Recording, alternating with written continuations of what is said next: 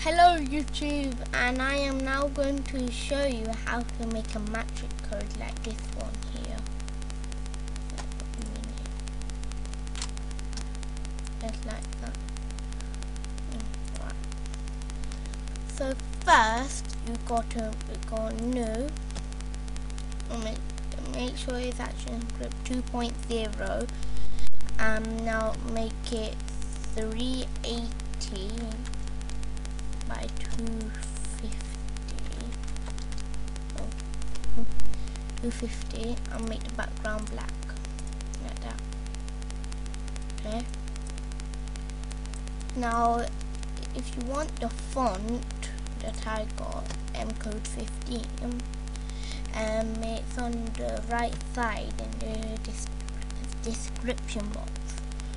Right so get it up make sure it's screen size 20 anti-alias for animation make sure this button is off here right there. And then name it Neo in the instance name. Then just type in anything in there. Just do like that. Now just click it then click character embedding go lowercase then press ok. Now we're gonna make it right. Make sure the registration is down and call it the underscore one like that. Then put the underscore one in the instance name again. Then click it again and press F8 and call this one underscore pod then put export for an action script. If you can't see it just click this advanced button there. Then it should come up and then press ok.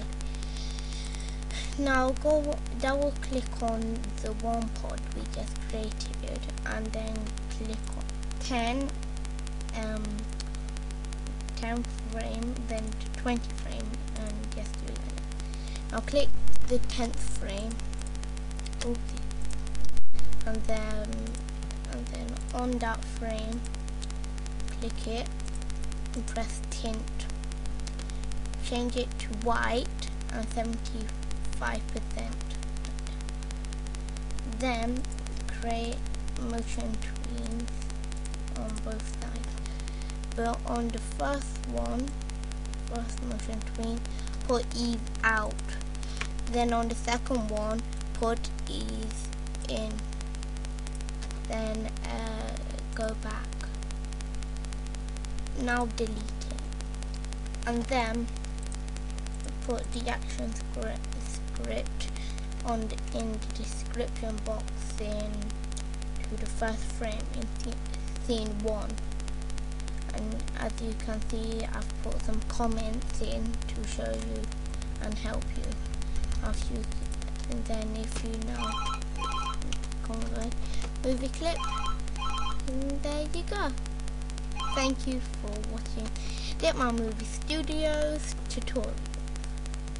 There will be more tutorials hopefully coming soon. Bye